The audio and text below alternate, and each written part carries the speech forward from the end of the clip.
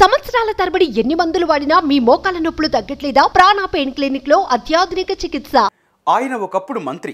మైత్రి బంధం తెగిపోవడంతో అడ్రస్ గల్లంతైంది. రెండు వేల పంతొమ్మిదిలోనే ఆయన పార్టీ మారతాడనే ప్రచారం జోరుగా జరిగింది. కానీ అప్పుడు అది జరగలేదు. కానీ ప్రస్తుతం ఆయన పార్టీ మారడం ఖాయమనే ప్రచారం జోరుగా సాగుతోంది. ఇంతకీ ఎవరా లీడర్? ఏ పార్టీ నుంచి ఏ పార్టీలో చేరబోతున్నారు? ఈ సందేహాలకు సమాధానం కావాలంటే let's watch the story. Kamineni Srinivas. ఆయన సీనియర్ నేత. రాజకీయాల్లో తలపండిన నాయకుడు. తెలుగుదేశంలో రాజకీయ జీవితం ప్రారంభించి కమలం గూటికి చేరిన ఆ నేతకు అగ్రనేతల వద్ద మంచి పరపతి ఉంది.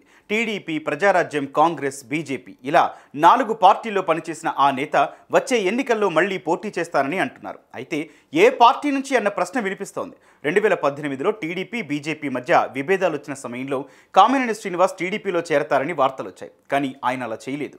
దీంతో రెండు వేల పంతొమ్మిది ఎన్నికల సమయంలో టీడీపీ కూటమిలో చేరుతున్నారంటూ మరోసారి ప్రచారం జరిగింది. అప్పుడు అవి పుకార్లే అని తేలిపోయాయి. ఆ తర్వాత కామినేని శ్రీనివాస్ పేరు ఏపీ రాజకీయాల్లో పెద్దగా వినిపించలేదు. అందు కారణం లేకపోలేదు. స్వతహాగా కామినేని శ్రీనివాస్ వివాదాస్పద నాయకుడు కాదు. అందుకే ఆయన పెద్దగా వార్తల్లో కనిపించలేదు. బీజేపీలోనే సైలెంట్గా ఉంటూ వచ్చారు.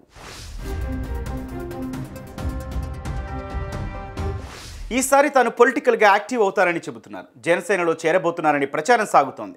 బీజేపీ నేతగా మాజీ మంత్రిగా ఉన్న ఉమ్మడి కృష్ణా జిల్లా నాయకుడు కామినేని శ్రీనివాస్ జనసేనలోకి వస్తారన్న చర్చ పెద్ద ఎత్తున సాగుతోంది. ఆయన పూర్వాశ్రమంలో ప్రజారాజ్యం పార్టీ నేత. రెండు వేల తొమ్మిది ఎన్నికల్లో కైకలూరు నుంచి మొదటిసారి ఆయన పీఆర్పీ నుంచి పోటీ చేసి నలభై నాలుగు వేల ఓట్లకు పైగా తెచ్చుకొని గెలుపు అంచుని ముద్దాడారు. కేవలం తొమ్మిది వందల డెబ్బై నాలుగు ఓట్ల తేడాతో ఓడిపోయారు.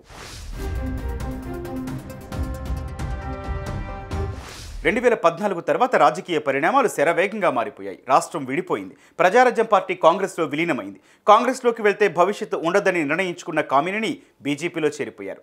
టీడీపీ జనసేన బీజేపీ పొత్తులో కైకలూరు నుంచి పోటీ చేసి విజయం సాధించారు. మంత్రి పదవి చేపట్టారు. ఆ తర్వాత బీజేపీ టీడీపీల మధ్య మైత్రి బంధం తెగిపోవడంతో మంత్రి పదవిని వదులుకున్నారు. రెండు వేల పంతొమ్మిదిలో అసలు పోటీ చేయలేదు. కానీ ఈసారి మాత్రం ఎన్నికల బరిలోకి దిగడం ఖాయమంటున్నారు.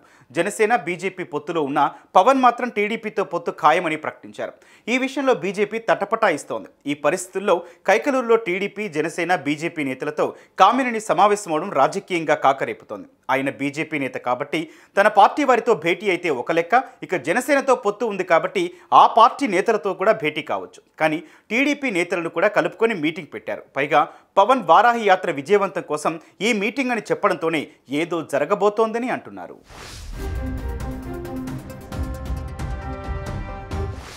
ఇప్పటిదాకా పవన్ వారాహి యాత్రలో ఎక్కడా బీజేపీ జెండా ఎగరలేదు. పైగా బీజేపీ నేతలు కూడా పవన్ వారాహి యాత్ర కోసం తన నియోజకవర్గాల్లో ముందస్తు కసరత్తులు ఏవీ చేయలేదు.